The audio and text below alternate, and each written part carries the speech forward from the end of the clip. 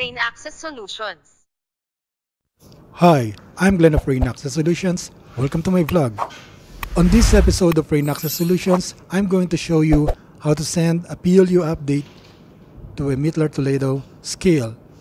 And I also want to show you how to change an IP address of a Mettler Toledo if it doesn't receive an update from the PC. As you can see here, I'm going to send a CSV file template to our Mettler Toledo scale.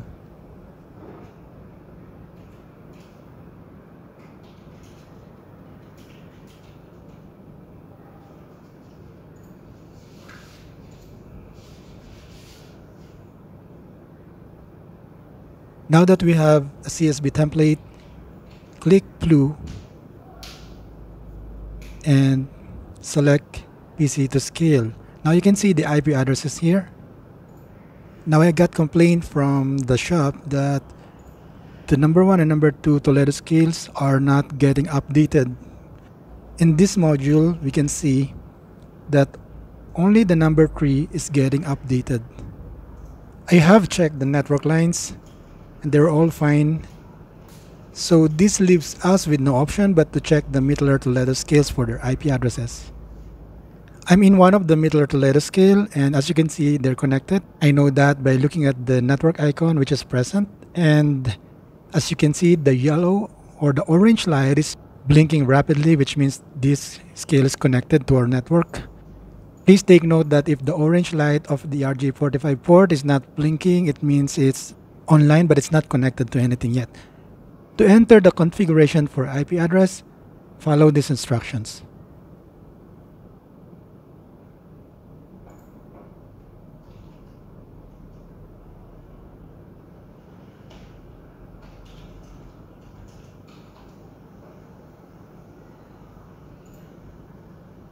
For those who are wondering why we're not putting dot in between the IP addresses numbers is that because it didn't have a dot option for us to enter. It's just have those spaces for numbers.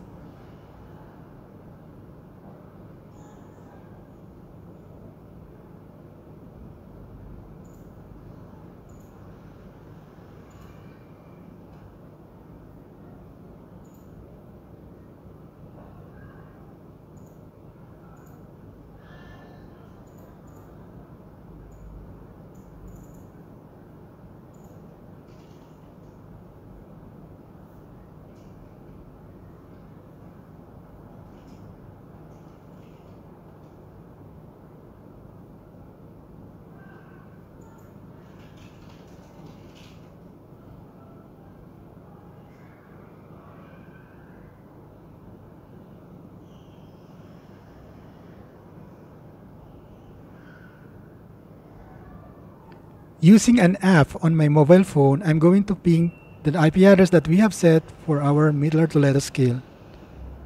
As you can see, we're receiving responses. Now, back in the office, I'm going to configure the settings in Mettler Toledo app, the IPs for number 1 scale and number 2 scale. And we will follow the IP addresses that we have set in the scales at the shop in the ground floor. Now we're going to ping those IP addresses to make sure that they are live.